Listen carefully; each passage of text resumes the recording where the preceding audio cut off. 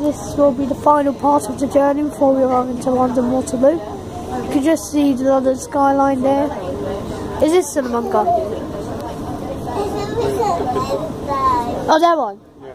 Yeah, there's the, the thing. There you go. Hamza, you know if we press the door open, but we're open. No, it says locked. Uh, it's a lock.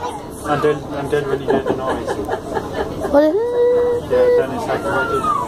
Yeah, and the light goes off. Uh, there's a, What? The skyline. through this building in GU. The shard.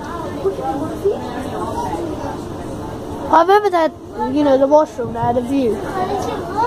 That was quite cool. Obviously, no one can see it. This train is now approaching its final stop. This is London Waterloo. Change here for London Underground services. Please remember to take all your personal items with you when you leave the train. It should, it should be arriving at 5. It says International Junction. I think that was for U.S. Eurostar.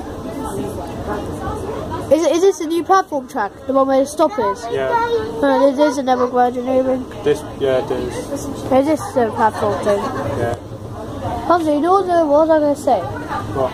Uh, that is St Thomas's.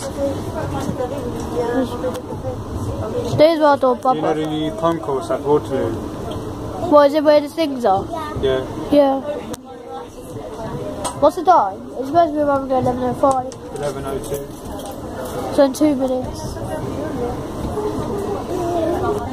Oh. Yeah, we're probably approaching it now.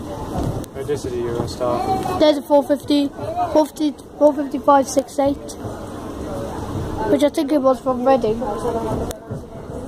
Yeah, it is from Reading, because we're going to the Reading platforms. What shall we say now? Did a 455 going to Waterloo via Richmond. so so should we think about getting up now? Yeah. So yeah, thanks for watching.